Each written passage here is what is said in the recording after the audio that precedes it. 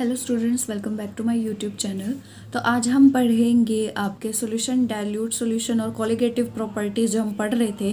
Colligative properties में हम आपके ऑस्मोटिक प्रेशर कर चुके थे और आपका लोवरिंग इन वेपर प्रेशर भी कर चुके थे। तो अब जो तीसरा आता है हमारा, वो आता है एलिवेशन इन बॉइलिंग पॉइंट तो इसके लिए सबसे पहले आपको बॉइलिंग पॉइंट पता होना चाहिए एक लिक्विड का। तो ये आपका क्या होता है? वो टेम्परेचर होता है जिसपे आपका जो वेपर प्रेशर जो वेपर प्रेशर है, ये किसके इक्वल हो जाए? एटमोस्फेरिक प्रेशर के इक्वल हो जाए। तो यहाँ से आप याद रखेंगे, अगर बॉइलिंग पॉइंट कभी भी आपका माइंड में आए तो V P is equal to A P याद रखें। Vapour pressure is equal to atmospheric pressure जब हो जाए तो वो एक लिक्विड का बॉइलिंग पॉइंट होता है। तो हमने क्या पढ़ा कि जो आपका वेपर प्रेशर होता है किसी सॉल्यूशन का, उसमें क्या हो? नॉन वॉलेटाइल सोल्यूट हो। तो उसमें आपका जो वेपर प्रेशर होता है, वो लेस देन दैट होता है सॉल्वेंट से। इसके हमने सारे के सारे ग्राफ कर्व्स वगैरह, वो भी पढ़े थे तो वो आपको वेरिएशन जो है वेपर प्रेशर में सॉल्वेंट और सॉल्यूशन के डिफरेंट टेम्परेचर्स पर और आइडियल और नॉन आइडियल सॉल्यूशंस में, वो हम सारा का सारा पढ़ चुके थे। तो अब देखिए, यहाँ पर बॉइलिंग पॉइंट पर क्या असर पड़ता है, वो हमने पढ़ना है। तो देखिए, चलिए पढ़ते हैं लेट्स गेट स्टार्टेड तो यहाँ पर इस डायग्राम को देखते हैं। यहाँ पर क्या आपके दो कर्व ले रखे हैं ए बी और सी डी जो आपका ए बी है, ये क्या बता रहा है? आपका vapour pressure of pure solvent बता रहा है। और जो यहाँ पर आपका सी डी कर्व है, ये क्या रिप्रेजेंट कर रहा है? वेपर प्रेशर ऑफ़ सोल्यूशन और ये डिफरेंट टेम्परेचर्स की बात कर रहे हैं तो एक जनरल आइडिया लेकर चल रहे हैं हम। तो जो आपका vapour pressure curve C D है, ठीक है? ये क्या करता है? सॉल्यूशन के नीचे लाए करता है, ये हमेशा। मतलब आपका जो प्योर वाला, जो सॉल्वेंट का केस है, जो इसका जो कर्व होता है, ये हमेशा ऊपर होता है आपके। सॉल्यूशन वाले कर्व से अगर हम डिफरेंट टेम्परेचर्स की बात करते हैं तो। और ये क्यों होता है आपका? क्योंकि जो आपका वेपर प्रेशर होता है सॉल्यूशन का, वो हमेशा क्या होता है? लेस देन होता है प्योर सॉल्वेंट से। यहाँ पर लिख देते हैं, जो वेपर प्रेशर होता है सॉल्यूशन का, वो क्या होता है हमेशा लेस देन होता है वेपर प्रेशर ऑफ़ आपके सॉल्वेंट से। तो इस तरह से इसको याद रखने की कोशिश करें और ये जो बात हो रही है, ये हर एक टेम्परेचर पर जनरल टेम्परेचर की यहाँ पर बात कर रहे हैं हम।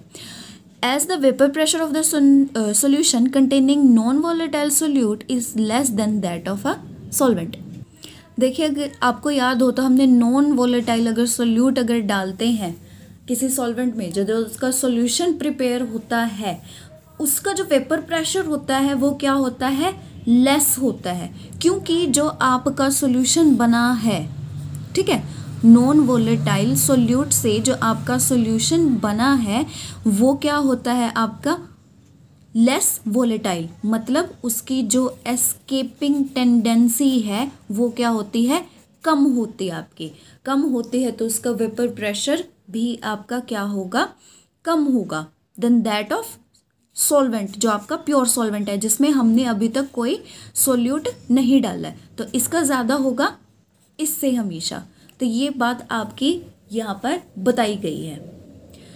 Therefore the solution has to be heated to a higher temperature so that its vapour pressure become equal to the atmospheric pressure तब सोल्यूशन को हीट करेंगे हाई टेम्परेचर पर ताकि उसका वेपर प्रेशर किसके इक्वल हो जाए, उसके एटमोस्फेरिक प्रेशर के इक्वल हो जाए।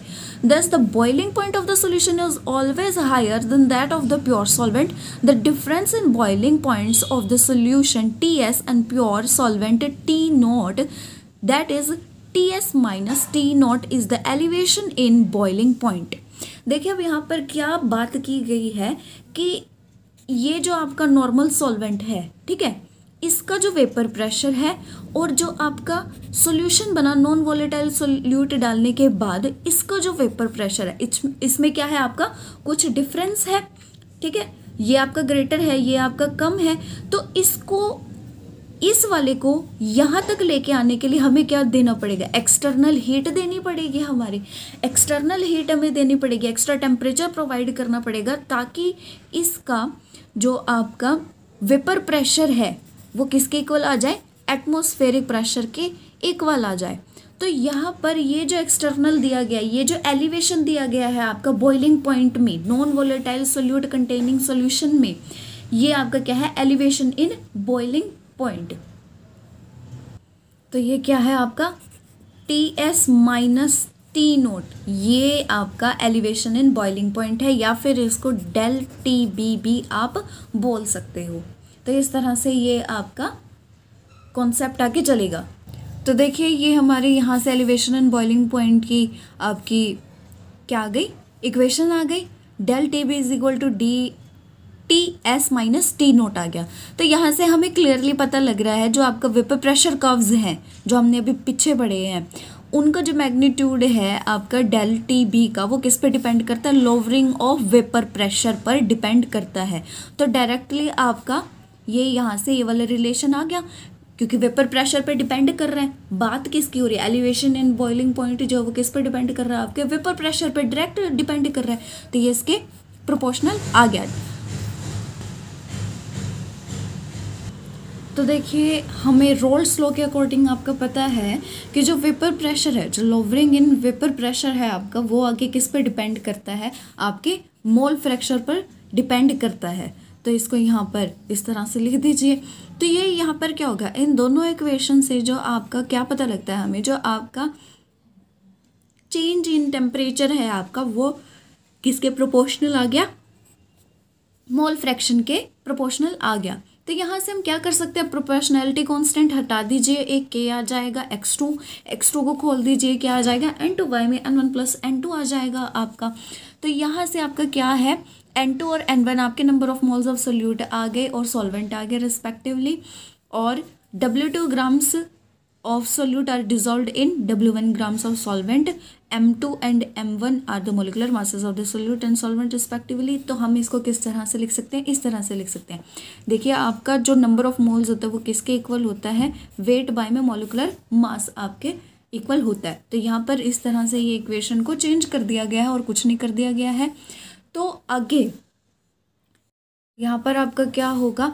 डायल्यूट सॉल्यूशंस की अगर मैं बात करते हो तो उसमें क्या हो गया? एक आपका बड़ा होगा और एक दूसरा क्या होगा? इतना छोटा होगा उसके उसको हम नेग्लेक्ट कर सकते हैं। तो इस तरह से यहाँ पर हमने नेग्लेक्ट कर दिया आपके। डब्ल्यू टू जो है आपका डब्ल्यू टू बाई में एम टू ये नेग्लेक्ट कर दिया डिनोमिनेटर में आपका। ठीक है? तो इस तरह से ये आपकी इक्वेशन बन जाएगी। ये इस तरह से बन जाएगी। एन टू दोबारा से आपका आ जाएगा, इस तरह से लिखा जाएगा आपका।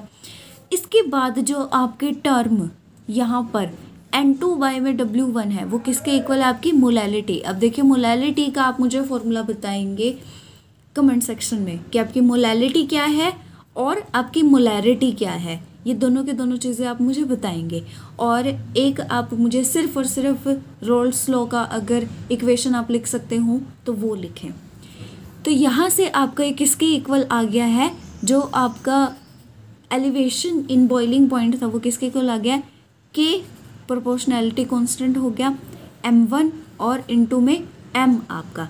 यहाँ पर एम वन और जो के है, ये कांस्टेंट है और के इंटू में एम वन जो है, ये रिप्लेस कर दिया हमने एक और कांस्टेंट से के बी से। तो ये क्या आ गया आपका? Del T B is equal to K B M आ गया आपका यहाँ पर। के बी एम क्या आपका? बॉइलिंग पॉइंट एलिवेशन कांस्टेंट या फिर मोलल एलिवेशन कांस्टेंट क्योंकि ये किससे बना है आपका मिलकर?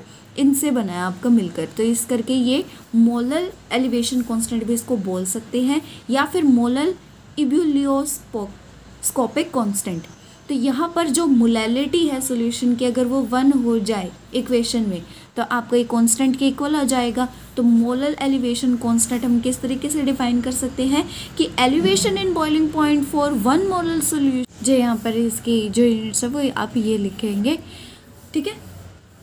के कैलविन के लिए आपका के हो गया और पर मोल आपका, ठीक है? अब इसके करेंगे हम thermodynamic derivation of elevation in boiling point एक सोल्यूशन कंसीडर करते हैं नॉन वॉलेटाइल सोल्यूट का, जो कि क्या होगा? इक्विलिब्रियम में होगा अपने वेपर्स के साथ सॉल्वेंट के। सिंस जो सोल्यूशन है हमारा वो नॉन वॉलेटाइल है, जो वेपर है वो किसके होंगे? प्योर सॉल्वेंट के होंगे। तो जो वे, सॉल्यूशन वेपर इक्विलिब्रियम है उसको किस तरीके से लिख सकते हैं? इस तरीके से हम लिख सकते हैं ठीक है? तो रिलेशनशिप जो है एलिवेशन इन बॉइलिंग पॉइंट और मोलल कंसंट्रेशन ऑफ़ सॉल्यूशन का हम उसको कैसे डिराइव कर सकते हैं? By applying Clausius Clapeyron equation और साथ में उसके रॉल्स लॉ तो यहाँ पर ये जो लिखी गई है इंटीग्रेटेड फॉर्म है Clausius Clapeyron equation as applicable to liquid vapour equilibrium तो इस तरह से ये आपकी पी टू बाई में पी वन का natural log is equal to del H V by में आर और आपका one by T one minus one by T two तो यहाँ पर पी वन आपका वेपर प्रेशर है एट टेम्परेचर टी वन और पी टू है vapour pressure at temperature T two del H आपका latent heat of vaporisation of the solvent है आपका. तो यहाँ पर आगे जो हमने जैसे आपका फिगर नाइनटीन की थी ना आपकी यहाँ पर, ये वाली जो फिगर करी थी, इसकी ही आगे एक्सप्लेनेशन चल रही है, इसी को देखेंगे, ये कर्व आप ये जो यहाँ पर दो ए बी और सी डी का सॉल्वेंटर सॉल्यूशन के लिए जो कर्व दिया गया है, इसे आप याद रखें। तो इसमें आपका क्या है? कंसीडर किया वेपर कर्व चले मैं यहाँ पे बनाई देती हूँ साइड में ताकि आपको पता लग जाए। तो यहाँ पर हम कंसीडर कर रहे हैं C D vapour pressure curve C D का सोल्यूशन के लिए तो इसको यहाँ पर यहाँ पर इस तरह से देख लें। तो सेट ऑफ़ कंडीशन है कुछ टेम्परेचर और वेपर प्रेशर की for point Z and Y lying on the C D curve तो इसके कुछ जो कंडीशन है सेट ऑफ़ कंडीशन है टेम्परेचर प्रेशर की वो किस तरह से है कि अगर हम पॉइंट जेड की बात करते हैं तो आपका जो टेम्परेचर क्या है, यहाँ पर टी नॉट है। और अगर हम प्रेशर आपके वाई पॉइंट पे बात करते हैं तो यहाँ पर क्या है आपका? टेम्परेचर टी एस है यहाँ पर, और आपका जो साथ साथ वेपर प्रेशर है, वो क्या है?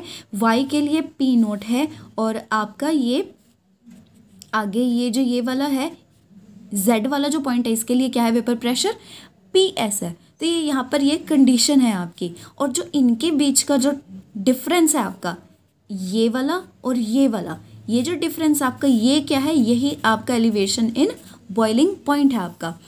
तो आपकी जो क्लोसिस क्लैप्रॉन इक्वेशन है सच कंडीशन के लिए वो किस तरह से लिखी जा सकती है, वो इस तरह से लिखी जा सकती है आपकी। तो ये हम ऊपर पढ़ ही रखे जो वो टी वन और टी टू की बात कर रहे थे। यहाँ पर जो टी वन और टी टू है, इसको क्या लेकर चलेंगे हम? सी डी कर्व के लिए टी नोट और टी एस लेकर चलेंगे और P two by P one को P naught by P S लेकर चलेंगे। तो इस तरह से आपकी इक्वेशन बन जाएगी। इसे थोड़ा सा रीअरेंज करेंगे सॉल्व करेंगे, उसके बाद जो T S minus T naught है, ये क्या वैल्यू है आपकी? एलिवेशन इन बॉइलिंग पॉइंट वाली, ठीक है? डेल टी बी वाली आपकी तो यहाँ से, यहाँ तक आपकी इक्वेशन ये बन जाएगी। तो यहाँ से अगर हम डाइल्यूट सॉल्यूशन के बॉइलिंग पॉइंट सॉल्यूशन की बात करें तो वो नियरली इक्वल होता है बॉइलिंग पॉइंट ऑफ़ सॉल्वेंट के। तो यहाँ पर आपका क्या हो जाएगा? जो टी एस है वो मान लो, जो टी नोट के इक्वल अगर हो जाए तो ये जो ये वाली टर्म है आपकी, ये क्या हो जाएगी? यहाँ पर टी नोट स्क्वेयर हो जाएगी आपकी। तो ये यहाँ पर इस तरह से आपकी क्वेश्चन चेंज हो जाएगी। In the present situation the solution containing non volatile solute is dilute and taken as an ideal solution तो देखिए नॉन वॉलेटाइल सोल्यूट डाइल्यूट लेकर चल रहे हैं और आइडियल सोल्यूशन लेकर चल रहे हैं तो वो क्या ओबे करेगा आपका? रोल्स लॉ ओबे करेगा तो उसकी इक्वेशन आपकी क्या होती है? ये होती है। यहाँ से इसको थोड़ा सा सॉल्व करेंगे। यहाँ से ये किस तरह से आ सकता है? इस तरह से आ सकता है आपका, ठीक है? इसको यहाँ पर लेकर जाएँगे। तो यहाँ पर लेकर जाने के बाद ये वाली क्या होगी? इक्वेशन ऐसे बन जाएगी आपकी। यहाँ से इसका नेचुरल लॉग ले लेंगे नेचुरल लॉग ले लेंगे। हम क्या कर रहे हैं? ये वाली जो इक्वेशन आपको ये नीचे कोशिश करेंगे कि ये वाला जो पार्ट है और ये वाला पार्ट है, इसको बना ले और फिर इन दोनों को इक्वल रखें। तो यहाँ से ये इस तरह से आगे चलती जाएगी। ये लॉग ले लिया हमने यहाँ पर। लॉग लेने के बाद आपका, जो आपकी यहाँ पर ये वाली टर्म है, इसको उल्टा कर दिया तो एक माइनस आ जाएगा, जो कि हमने ये यहाँ पर भेज दिया। तो इस तरह से आपकी इक्वेशन फाइव तक ये यहाँ पर इस तरह से सॉल्व हो जाएगी। तो डायलूट सोल्यूशन के लिए जो कंसनट्रेशन है सोल्यूट की, वो बहुत स्मॉल होगी तो आपकी जो एक्स टू है तो वन क्या होगा? लार्ज होगा आपका एक्स टू से तो एक्स टू क्या हो गया? स्मॉल होगा आपका। तो यानी ये क्या हो सकता है? इसको हम इस तरह से यहाँ पर लिख सकते हैं। जो आपका लोग वन माइनस एक्स टू है, वो माइनस एक्स टू के इक्वल भी आ सकता है। या फिर आप इसको यहाँ पर ले लीजिए, ये एक्स टू के इक्वल आ जाएगा। तो बस ये वाली जो टर्म है, यहाँ पर हमने क्या करना है आपके? सब्सटीट्यूट करना है क्वेश्चन फाइव पे, जो हमने अभी पीछे आई थी। तो बस जो ये वाली टर्म आई थी यहाँ पर तो ये वाली टर्म की जगह हमने क्या करना एक्स टू पुट कर देना तो ये यहाँ पर इस तरह से आ जाएगा। बस ये जो मैंने आपको बोला था, ये यहाँ पर इस तरीके से लेकर आ गए हैं। और हमने क्या करना है, ये जो यहाँ पर आपकी ये वाली जो इक्वेशन थी यहाँ पर भी लॉग पी नोट बाय में पी एस है और यहाँ पर भी आपका लॉग पी नोट बाय में पी एस और दोनों इक्वेशन को कंपेयर कर दो तो आपका क्या आ जाएगा? मोल फ्रैक्शन किसके इक्वल आ जाएगा? इसके इक्वल आ जाएगा। यहाँ से आप जो बॉइलिंग पॉइंट एलिवेशन है, इसको इधर ले लीजिए और सारे टर्म्स को इधर ले लीजिए। तो ये आपका एक थर्मोडाइनमिक रिलेशन बन गया एलिवेशन एंड बॉइलिंग पॉइंट में और mole fraction of the solute solution के। However, elevation and boiling point is commonly expressed in terms of molality. अगर मोलैलिटी के टर्म्स में आपको एक्सप्लेन करना है तो आप क्या कर देंगे? X2 की वैल्यू रख दीजिए। ठीक है? यहाँ पर x2 की वैल्यू आप रख देंगे और यहाँ पर भी आपका क्या करेंगे? जो मोल्स हैं उनको हम वेट बाय में मोलिकुलर मास आपका लिख देंगे। तो इस तरह से करते करते ये जो आपका है ये इस तरह से भी हम x2 की जगह ये भी लिख सकते हैं आपका।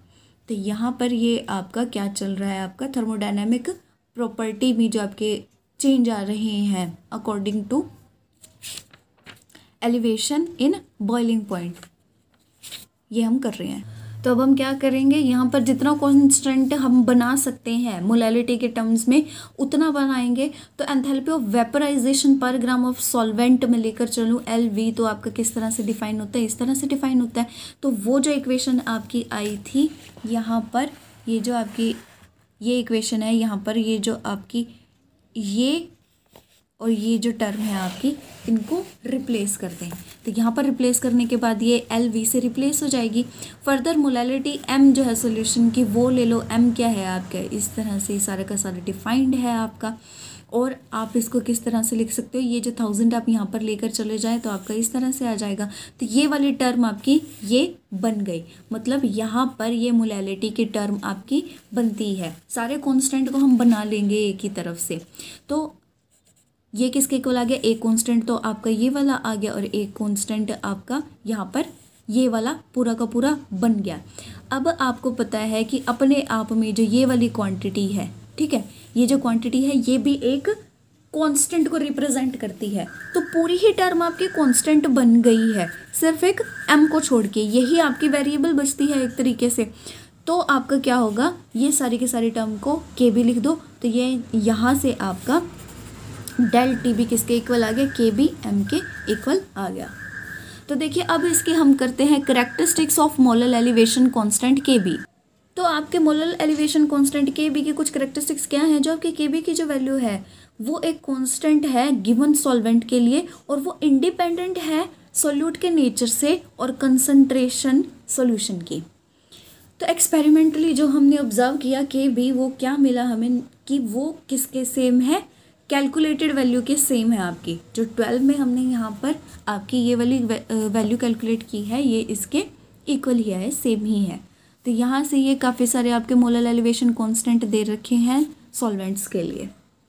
तो आपका एक ये वाला छोटा सा, ये देखिए, इतना सा आर्टिकल है elevation and boiling point as a colligative property colligative property क्या होती है, ये भी एक्सप्लेन करोगे। और एलिवेशन एंड बॉइलिंग पॉइंट आपकी कॉलिगेटिव प्रॉपर्टी कैसे बनी, ये भी आप एक्सप्लेन करेंगे। ठीक है कमेंट सेक्शन में।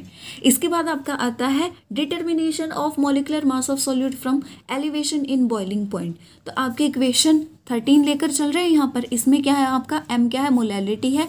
मोलैलिटी क्या होता है आपका? Number of moles of solute dissolve per thousand gram of solvent तो यहाँ से W two grams of non volatile solute हमने डिजॉल्व करे W one gram of solvent में। और एम टू क्या है? मोलर मास है सोल्यूट का। तो आपकी मोलैलिटी इसके इक्वल आपकी आ जाएगी। अब देखिए number of moles of solute आपके इसके इक्वल होते हैं तो बस ये एक तरीके से आपका क्या हो गया? फॉर्मूला जो आपका मोलैलिटी का था, वही हम लेकर यहाँ पर चल रहे हैं, ठीक है? तो ये आपका सब्सटीट्यूट करेंगे, जो एम की वैल्यू है आपके इसमें तो ये आपका फॉर्मूला इस तरह से बन जाएगा।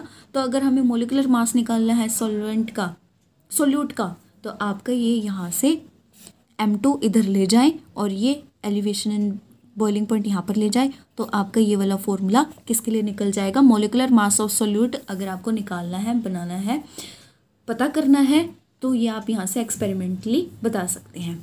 इसके बाद आता है नेक्स्ट आपका relationship between elevation and boiling point and relative lowering of vapour pressure तो एलिवेशन एंड बॉइलिंग पॉइंट जो एक्सप्रेशन है, वो आपका ये वाला है, ये तो आपको पता ही है, ठीक है? तो हम यहाँ से क्या कर रहे हैं? बस आपका ये जो ये वाली टर्म है, ये किसके इक्वल होती है आपकी? N two number of moles of component two के इक्वल तो इसको यहाँ से ये पुट कर देंगे और डब्ल्यू टू यहाँ से क्या निकल जाएगा? एन टू इन टू में एम टू आपका बन जाएगा।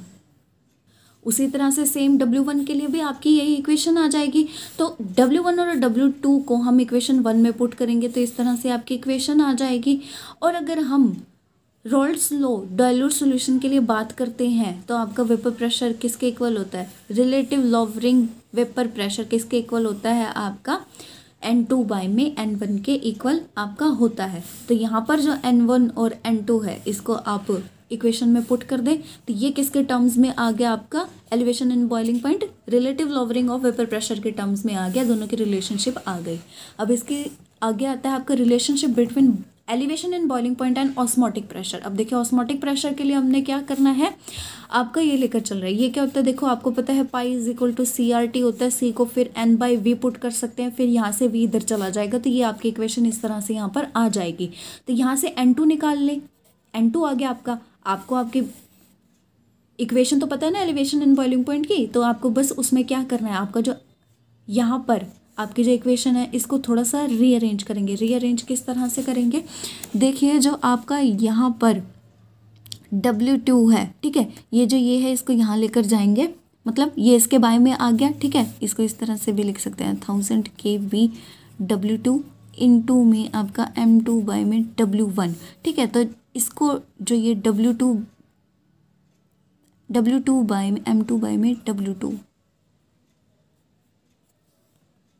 ये इस तरह से आपकी इक्वेशन लिखी जाएगी। तो अब आपका क्या है?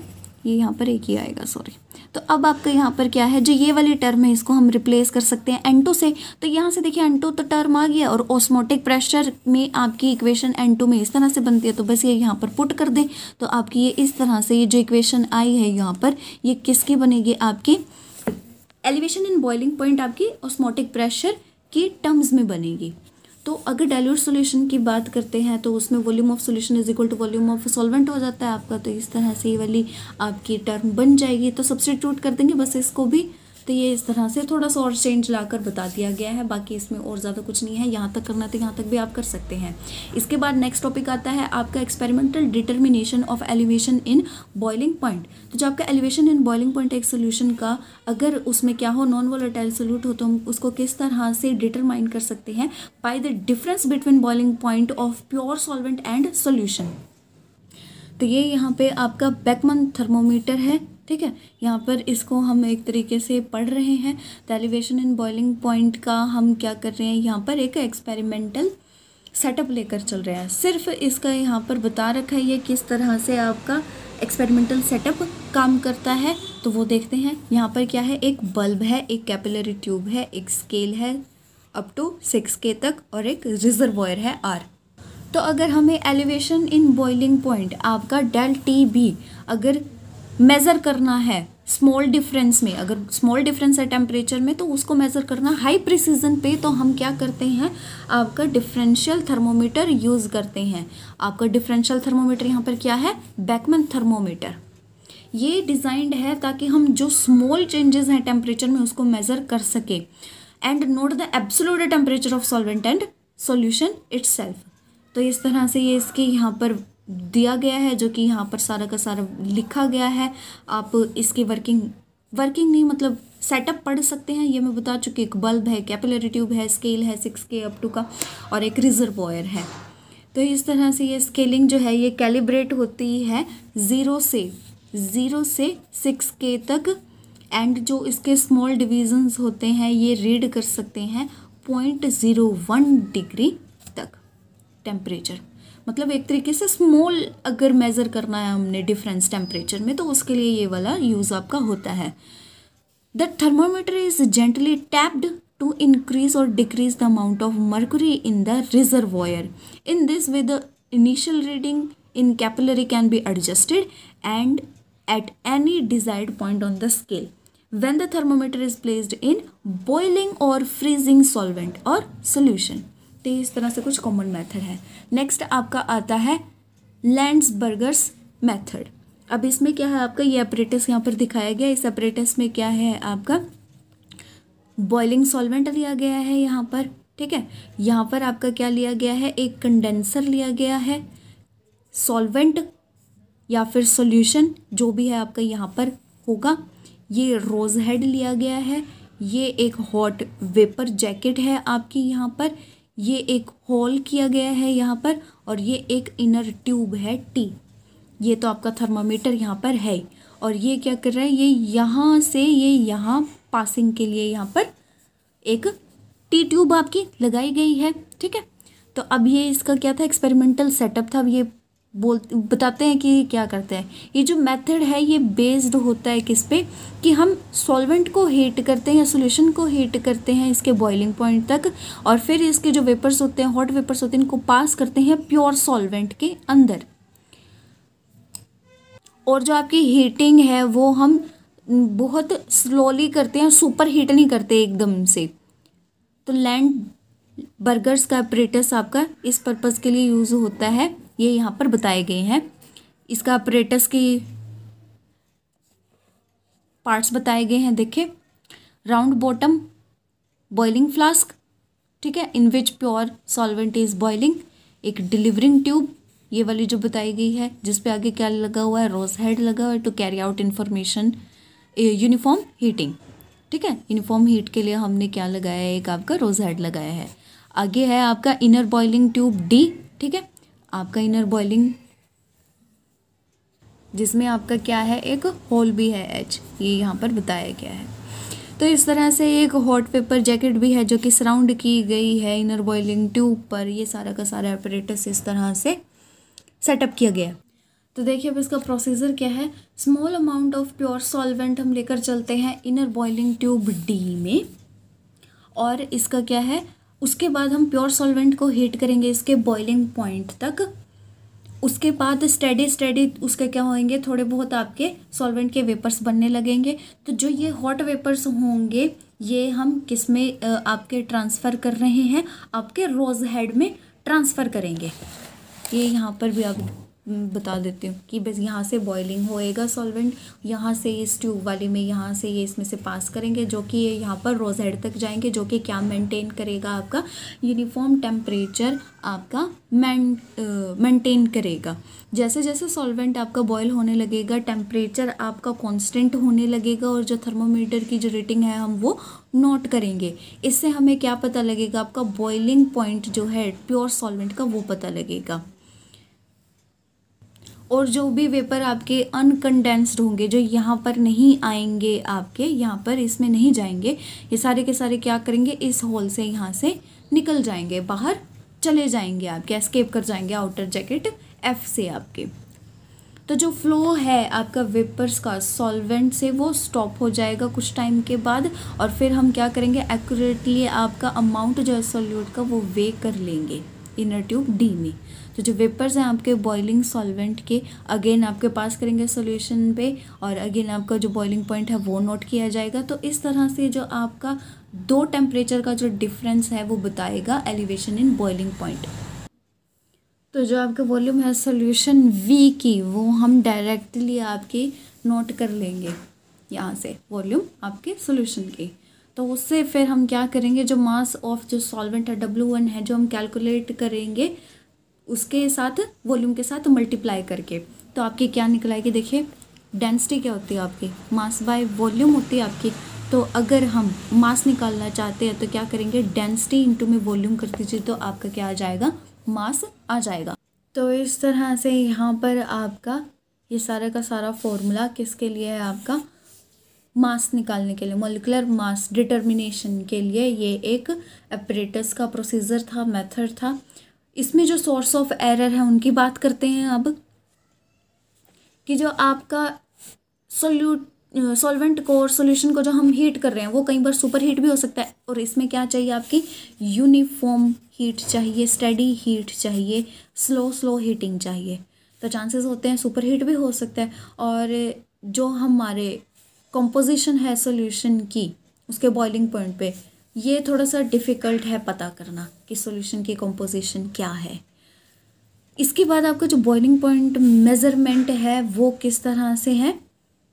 कि आपका जो हम बॉइलिंग पॉइंट जो मेज़र कर रहे हैं, वो लिक्विड के अंदर से कर रहे हैं। देखिए, इस तरह से ये काफ़ी अंदर से कर रहे हैं। तो थोड़ा सा डिफरेंस अगर यूनिफॉर्म नहीं है टेम्परेचर तो डिफरेंस तो आएगा यहाँ पे और यहाँ पे, ठीक है? तो इस करके ये भी बॉइलिंग पॉइंट मेज़रमेंट में एक थोड़ा सा आपका फ्लो हो सकता है। तो ये सोर्सेज ऑफ़ एरर थे और इसके बाद आता है आपका कोट्रेल्स मेथड कोट्रेल्स मेथड में आपका क्या है? ये इसका यहाँ पर एपरेटस बताया गया। इसमें क्या है? आपका एक थर्मोमीटर है एक कंडेंसर है, एक बॉइलिंग ट्यूब है, एक पंप ट्यूब है, एक यहाँ पर क्या लिया गया है?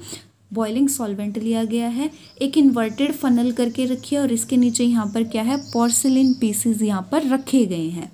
और इसको हम क्या कर रहे हैं? हीट कर रहे हैं। तो जो पिछले मेथड में हमारी जितनी भी कमियाँ थी, उनको दूर करने के लिए, उनको एलिमिनेट करने के लिए हमने क्वार्टर्स एपरेटस डिज़ाइन किया। तो इसमें आपकी ये सारी के सारी मैंने यहाँ पर इसमें बता दिया कि क्या क्या चीज़ें आपकी लगती हैं। ये यहाँ पर सेम इसी तरह से सारे के सारी लिखी गई हैं। एक नॉन मास डब्ल्यू वन के हमने सॉल्वेंट ले लिया, किसमें? बॉइलिंग ट्यूब में आपका ले लिया है। और यहाँ पर जेंटली हमने उसको क्या किया है? हीट किया है। उसके बाद लिक्विड क्या हो जाएगा? आपका बॉयल करना स्टार्ट कर जाएगा। उसके बाद जो वेपर्स हैं सॉल्वेंट के, वो राइज़ करने लग जाएँगे फनल के अंदर। जैसे जैसे राइज़ करेंगे, उसके बाद क्या होगा? यहाँ पर आपके पंप ट्यूब तक जाएँगे और ये यहाँ पर आपके जो थर्मामीटर है, यहाँ पर ये टेम्परेचर आपका नोट करेगा। तो जो वेपर्स आपके उठ रहे थे बॉइलिंग सॉल्वेंट से, वो राइज करेंगे फनल में और यहाँ पर जो आपका थर्मामीटर है, वो उसको नोट कर लेगा। तो ये हमारा क्या है? टी नोट है। उसके बाद known mass solute W two लिया, ऐड किया हमने सॉल्वेंट में। उसके बाद उसका जो बॉइलिंग पॉइंट है सोल्यूशन का, फिर हमने उसी तरीके से वो नोट किया।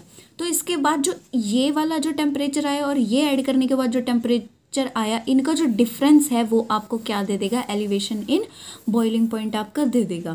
तो यहाँ से जो एडवांटेज है कॉट्रल मेथड की वो क्या है कि जो सुपर हीटिंग है वो नहीं होगी, क्योंकि जो आपके वेपर्स हैं बॉइलिंग पॉइंट के, वो काम कर रहे हैं, वो हमारे थर्मोमीटर के बल्ब पे स्प्रे कर रहे हैं हम। तो यहाँ से ये मेथड के एडवांटेज है। इसके बाद सेकंड है आपका एडवांटेज कि जो कंपोजिशन है सॉल्यूशन की बॉइलिंग पॉइंट में, वो अनचेंज्ड रहती है सेम रहती है थ्रू आउट उसके बाद आपका जो होलो स्टॉपर फिटेड है बॉइलिंग ट्यूब पे, वो क्या प्रिवेंट करता है? Contact of cold condensate with the thermometer तो इस तरह से ये इसके कुछ आपके एडवांटेजेस थे। और यहाँ पर आपका बॉइलिंग जो एलिवेशन एंड बॉइलिंग पॉइंट है, आपका एक कॉलीगेटिव प्रॉपर्टी है, यहाँ पर ख़त्म होता है। तो नेक्स्ट आपकी एक लास्ट ही बचती है, उसको नेक्स्ट लेक्चर में करें